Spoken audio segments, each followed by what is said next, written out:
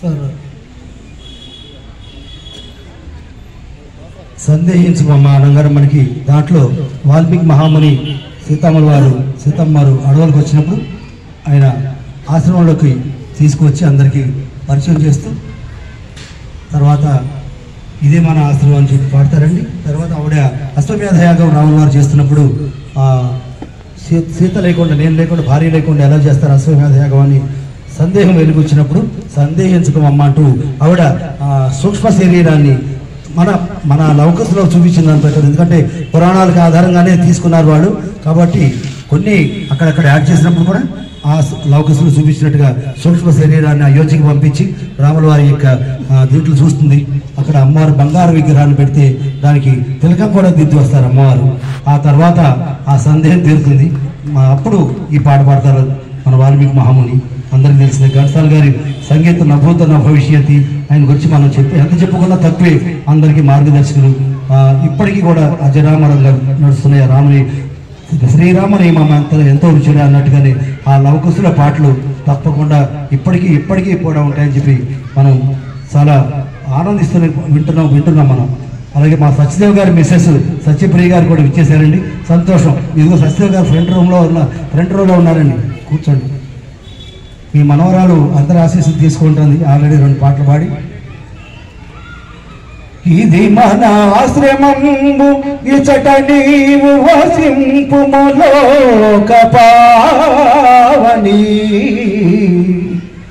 సదమల వృత్తి నీకు పరిచర్యలు సేయుదురి తపస్విను ముదముగ రామనామము ముదముగా రామనామము తపోవన మెల్ల ప్రతిధ్వనించు.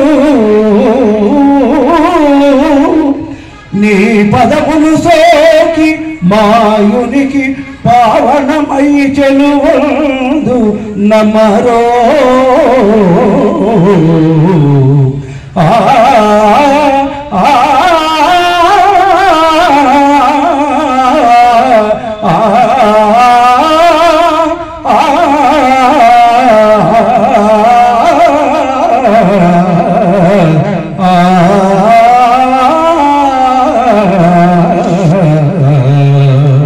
చక్కటి బ్యాగడ్ రాగంలో కూర్చారు.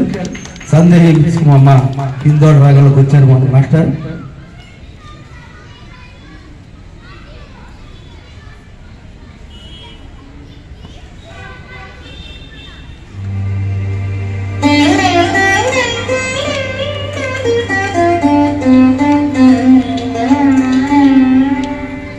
సందేహించకుమమ్మా. రఘురాము ప్రేమను సీతమ్మా సందేహించకుమమ్మా రఘురాము ప్రేమను సీత సందేహించకుమమ్మా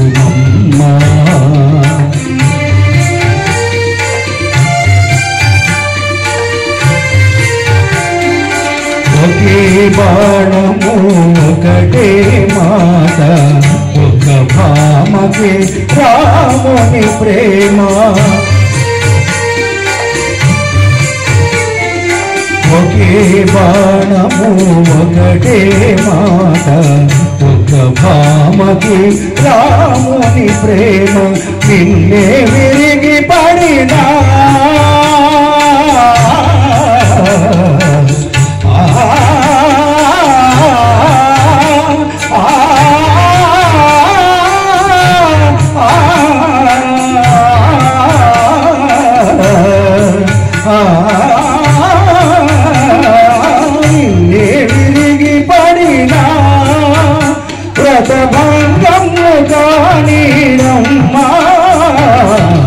సందేహించకుమమ్మా రఘురాము ప్రేమను సీతమ్మా సందేహించకుమమ్మా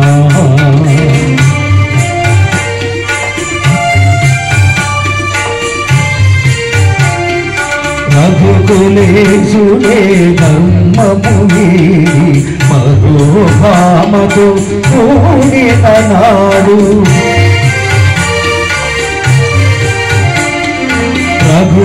యేసునే ధర్మము వీడి మధుభామతో కూడిన నాడు నాదు జపము తపము నా కావ్యం హృదయను నాదు జపము తపము నా కావ్యం హృదయను